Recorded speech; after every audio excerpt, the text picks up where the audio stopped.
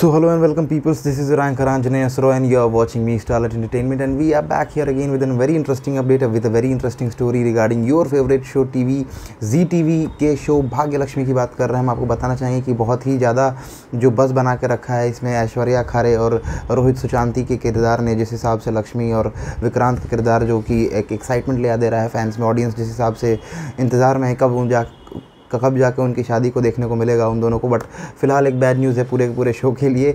वो है ये जो कि ऑडियंस है, उनके लिए एक बहुत ही बड़ी बैड न्यूज़ है। वो ये है कि जिस हिसाब से अभी शो चल रहा है, जो कि उनके रिसेंट प्लॉट से आने वाले एपिसोड्स में आपको कुछ ऐसा देखने को मिल सकता है, जिसमें कि लक्ष्मी जो है, वो अपनी शादी तोड़ के जा सकती हैं। ओबरॉय पैलेस ये जो ओबरॉय हाउस है, उसको छोड़ के वापस अपनी आंटी के घर, जिसका नाम है रानो पैलेस वहाँ पर वापस से आपको देखने को मिल सकता है लक्ष्मी को। और पूरी पूरी भी एक्साइटमेंट थी लोगों की, जिसका बेसब्री से इंतज़ार था लोगों की अगर एक मोमेंट ऐसा आया कि जब लक्ष्मी और विक्रांत दोनों एक दूसरे के साथ देखने को मिले उन दोनों को, क्योंकि उनकी जोड़ी को काफ़ी पसंद किया जाता है। बट अनफॉर्चुनेटली इस बार तो ये पॉसिबल नहीं है, जो कि आपको आने वाले एपिसोड्स में खुद देखने को मिलेगा।